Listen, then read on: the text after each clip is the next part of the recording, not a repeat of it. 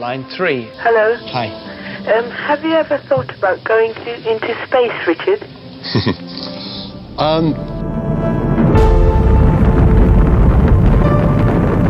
The moon landing was a catalytic moment for me.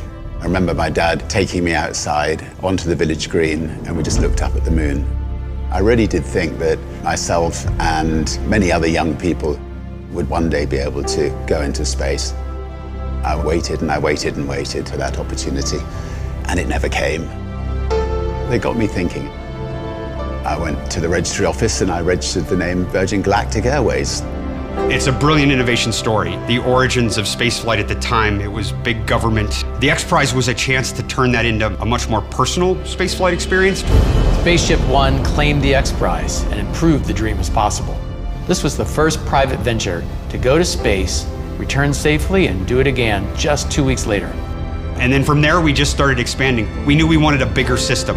We wanted something that you could float about the cabin, actually experience zero gravity.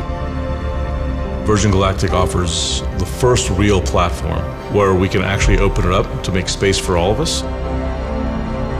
We build on the shoulders of giants, but we want to be that first baseline for Earth and actually deliver on that promise.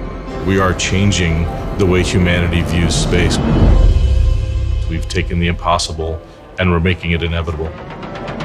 I always want to celebrate the team on this.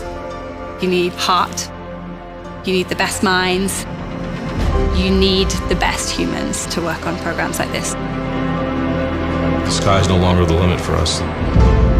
This is an inflection point in human history. Two astronauts on a tiny television inspired a kid from England. Imagine what greatness can come from a generation seeing Earth from space. You're seeing your home planet. It's a real connection with the Earth. It grounds you and it feels timeless. I think in the same way that I was inspired by the moon landing, Release, release, release. Fire! I hope that there will be millions of kids all over the world who will be captivated and inspired about the possibility of them going to space one day.